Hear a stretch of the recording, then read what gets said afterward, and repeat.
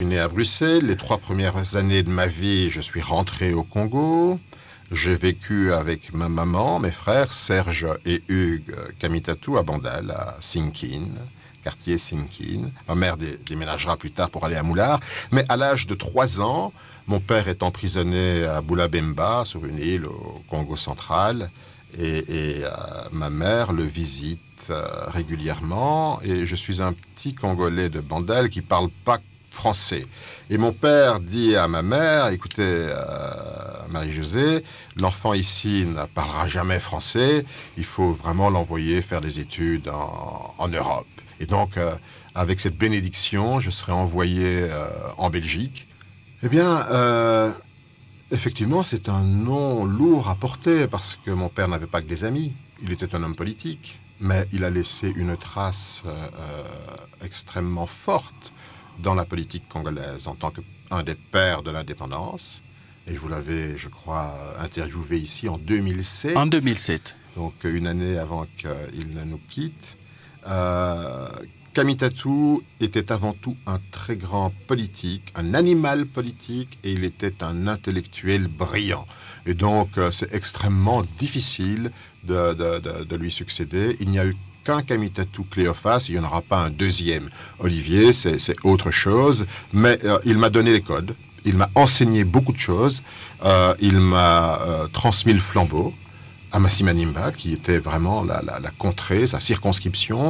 Il a fait chaque village, il m'a accompagné dans chaque village quand j'ai eu la chance et l'honneur d'être euh, désigné comme président de l'Assemblée nationale.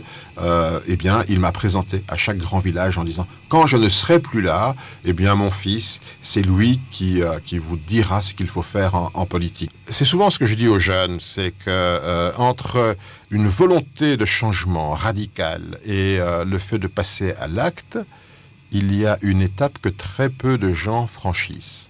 Vous savez, ici, euh, tous les matins, il y a des gens qui sont mécontents, qui se disent Ah non, je vais me révolter, etc. Ils le font pas. Parce qu'il y a quelque chose qui vous inhibe profondément. Euh, ici, je n'avais pas le choix.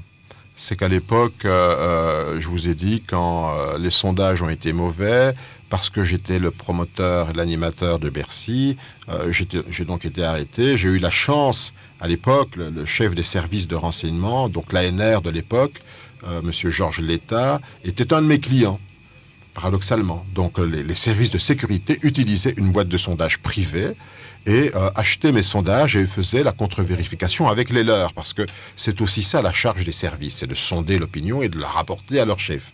Eh bien, un jour, Georges Letta me dira, Olivier, il est temps que tu partes parce que je ne pourrais plus assurer ta sécurité. J'étais arrêté depuis un mois. Le matin, je devais me présenter euh, au CNS, partout. Et le soir, j'avais la chance de rentrer à la maison.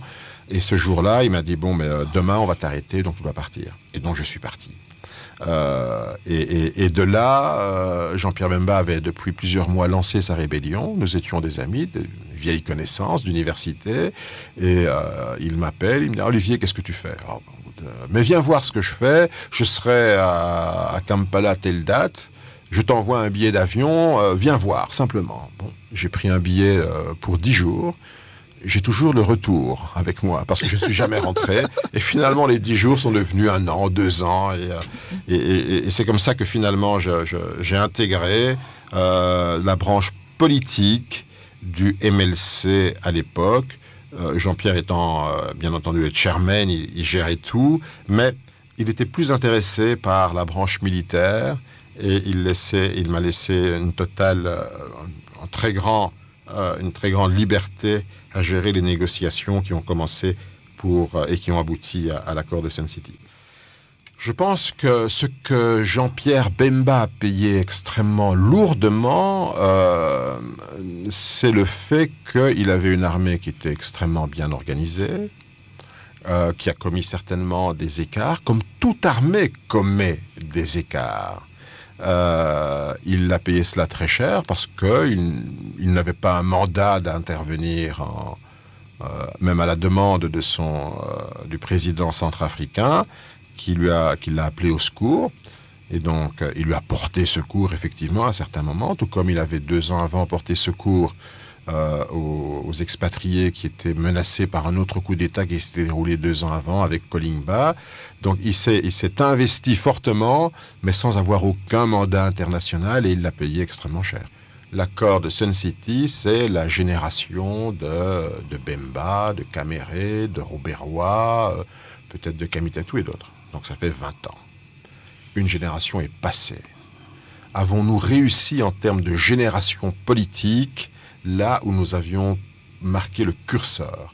Nous avons décidé, nous avions décidé de prendre les armes pour restaurer ce qui nous paraissait le plus cher à l'époque, c'était la démocratie, l'état de droit, et euh, nous avions formulé cela par le nouvel ordre politique. Un nouvel ordre politique fondé sur effectivement euh, euh, le souverain primaire, ça veut dire permettre aux Congolaises et aux Congolais de choisir librement les animateurs d'institutions démocratiques. Nous avons organisé, euh, nous avons un, convenu du nouvel ordre politique. Nous avons organisé une transition apaisée. Nous avons réunifié un pays qui était divisé en quatre grands morceaux. Et donc, on a consacré cette formule assez inédite de 1 plus 4. Donc, nous avons fait preuve d'une très grande créativité politique pour la réunification de ce pays, pour lui donner un nouvel ordre politique issu d'élections. On a d'abord élaboré une constitution et tous les jours, j'invite les Congolaises et les Congolais à relire ne fût-ce que le préambule de cette constitution de, de 2005 euh, qui était adopté par référendum en décembre 2005, promulgué en 2006. Est-ce que 20 ans après, nous sommes toujours d'accord sur ces six points? Je le crois. Est-ce que nous les avons appliqués? Je ne le crois pas. Parce qu'aujourd'hui, on constate qu'effectivement, les institutions ne travaillent pas dans l'harmonie. On constate qu'effectivement, on n'arrive pas à contrer les dérives euh, dictatoriales, que la gouvernance est totalement euh, défaillante, que les conflits sont récurrents, euh, il y avait 50 groupes armés en 2018, ils sont 150 euh, aujourd'hui, et que finalement l'alternance démocratique voulue dans cette constitution, on est peut-être en train de nous organiser une nouvelle grande mascarade. Donc effectivement, le bilan n'est pas positif. Et donc votre génération a échoué? Je pense qu'elle n'a pas réussi. Quand on touche au fondement d'une personne, je ne peux pas croire que ça ne touche pas. Je ne lui en parle pas. mais ça renforce probablement sa détermination à aller de l'avant parce que tout ça est bâti sur du mensonge. Faut pas oublier que Moïse Katumbi euh, est né d'un ventre congolais dans une communauté qui est matrilinéaire. N'allez pas demander à sa communauté de renier Moïse Katumbi parce que son papa ne serait pas Ce serait contre les traditions de cette communauté. La loi sur la nationalité a été forgé dans l'accord de cessez-le-feu de Lusaka en 99. S'il est un point dans tout ce que nous avons dit sur mon passé, c'est qu'avec Caméré et Rouberois, dans l'accord de cessez-le-feu, parmi les points essentiels qui ont permis à ce pays de retrouver la paix, que les fusils soient abaissés, il y a eu cette loi sur la nationalité. Ce premier texte, qui n'est pas encore une loi, mais qui est un accord qu'on convient entre le RCD, le MLC et le gouvernement de Kinshasa, c'est de dire qui est congolais, qui ne l'est pas. Et c'est une loi extrêmement généreuse et créative. On dit qui est congolais de père ou de mère.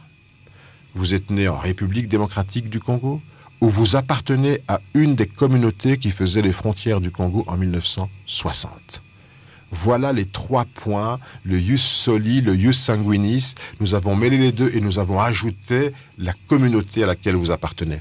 Nous avons repris ce texte en 2003 dans la Constitution de transition. Nous avons repris ce texte en 2005 dans la Constitution qui nous régit aujourd'hui.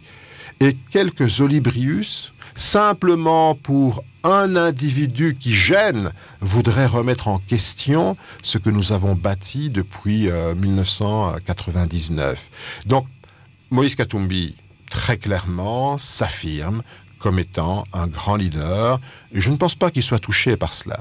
Ce qui le toucherait, c'est qu'effectivement la loi puisse être modifiée simplement pour son cas à lui. On sait qu'il y a des majorités mécaniques, on sait que l'Assemblée nationale n'est que l'ombre d'elle-même aujourd'hui, mais je crois que la raison, il faut raison garder.